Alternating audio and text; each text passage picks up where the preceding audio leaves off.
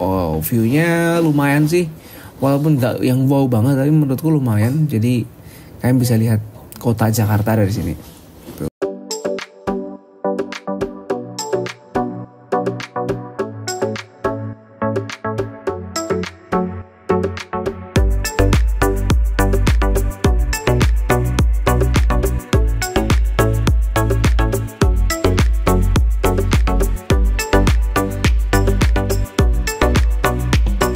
Oke, kali ini eh, saya bakal ngajak untuk jalan-jalan atau melihat hotel asli ini ada di Jakarta. Tapi ini bukan yang di Sabang ya, ini yang ada di Gajah Mada. Nah, kita masuk dulu. Eh sorry, Gajah Mada Wahid Hashim. Ini Wahid Hashim, jadi ada yang di Sabang, ada di Wahid Hashim. Ini saya akan coba tunjukin ke teman-teman semua kira-kira di dalamnya seperti apa sih gitu. Nih, asli Wahid Hashim. Nah, kalau di sini tuh tinggal di sini enaknya deket kalau kalian mau ke eh, Sarina, terus ke Sabang juga deket sih. Terus kalian mau jalan-jalan ke Bundaran HI kalau car free di hari Minggu tuh eh, deket banget, tinggal jalan kaki. Dari depan hotelnya tuh strategis menurutku sih. Ini untuk lobby depannya bisa dibilang cukup bersih karena kalau hotel seperti ini menurutku ya seperti ini standar ya mungkin. Oh ya by the way untuk kamarnya di sini kalau include sama sarapan saya agak lupa berapa nominalnya cuma di 700 ribuan kalau nggak salah. Nanti kalian bisa cek di Traveloka atau tiket.com untuk bintangnya juga hmm, seperti juga bukan bintang tiga ya harusnya bintang 4 tapi bukan bintang 5 tuh ini untuk tempat nunggunya dan di sana tuh nanti ada ada tempat makan atau buat breakfast besoknya nah ini resepsionisnya Ah, ada masnya Ya. terus ini nggak begitu rame karena saya nginepnya di hari weekday jadi orang-orang pada kerja. Tapi saya cuti terus akhirnya nginep di hotel. Nah, makanya suasananya sepi gini.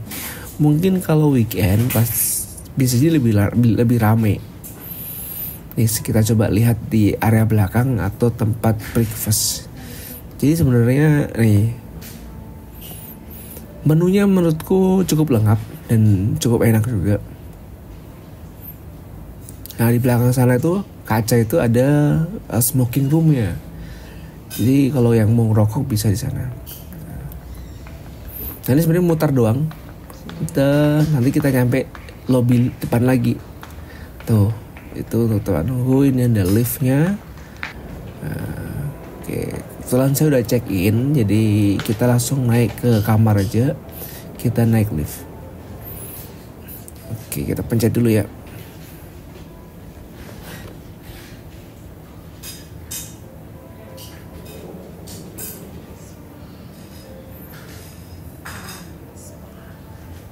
Oke, kalau naik lift tempelin kartunya gini ya. Untuk beberapa hotel emang untuk akses permissionnya harus pakai kartu ditempel di lift baru kita bisa naik.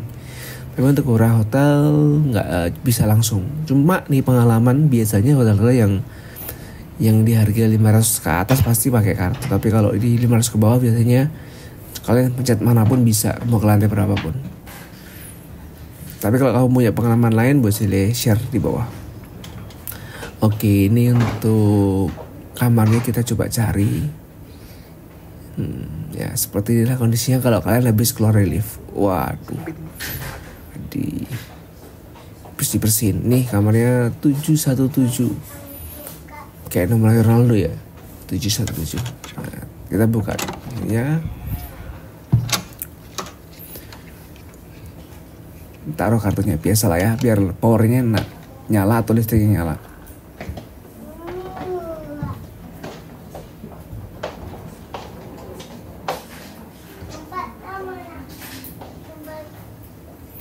Oke, kita nyalain lampunya dulu nih. Ini gelap banget nih.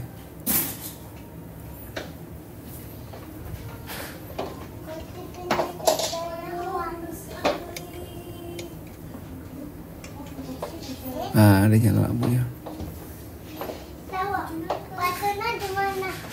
Ini tempat tidurnya uh, satu bed, terus ada lemarinya, terus oh ya di ujung sana ada meja kerjanya. Jadi kalau kalian mau work from hotel, kalian bisa kerja di sini. Dan cukup komplit ada power dan ini umum. Oh ada speaker juga nih jarang-jarang ada speaker. Tapi tipikal hotel asli itu pasti ada speakernya. Terakhir saya nginep di Sabang, asli Sabang juga ada speaker yang sama. Harman Kardon lah, ini mejanya untuk minum sama uh, cangkir terus tempat bikin kopi dan teh itu menurutku standar hampir semua hotel punya. Ini TV-nya dan ini view-nya dari sebelah sini. Oh ya kita lihat jendelanya. Ini ada jendela. Oh view-nya lumayan sih. Walaupun nggak yang wow banget tapi menurutku lumayan. Jadi kalian bisa lihat kota Jakarta dari sini. Tuh. Tuh gedung tingginya cuma sekitar White Hashim tuh nggak gedungnya nggak begitu tinggi nih. Kebetulan yang sisi sini Wow, tinggi banget.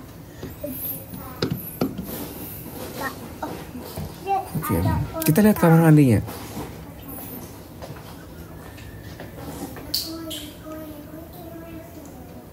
Oh sorry sorry. Kita lihat lemarinya dulu aja. Tuh. ada eh, plastik laundry ada brankas dan ada mini apa ya mini kulkas ya. Atau refrigerators. Ini lemari atasnya kalau cuma tinggal sehari kayak saya ini kayaknya nggak- begitu perlu naruh paling coba baju doang ya tak taruh. Kalau yang lain sih rasanya besoknya udah pulang ya. Oke kita eh, ke kamar mandi sebentar. Oke standar ya cuma bagus menurutku. Ada wastafelnya terus di sini untuk tempat mandinya di showernya tapi nggak ada bathtubnya konsep dan desainnya menurutku cukup menarik dan bersih nih bersih. Ya pengalaman nih kalau di asli eh, first impressionnya bagus. Jadi masuk tempatnya bersih terus kayak luxury gitu. Sebenarnya kalau hotel tuh prinsipnya semakin mahal semakin bagus. Kalau kau tinggal di hotel yang lebih murah ya kualitas semakin turun. Terus kalau hotel yang mahal kualitas semakin naik. Itu kayak ya rule of thumb-nya lah peraturannya tuh oke itu aja yang videonya ya. Jadi next time kalau saya ada agenda jalan-jalan eh, saya tulis tuh walking around. Jadi kalian bisa melihat sekitar apa yang saya lihat di sini. Oke terima kasih sudah mengunjungi channel Bang Darju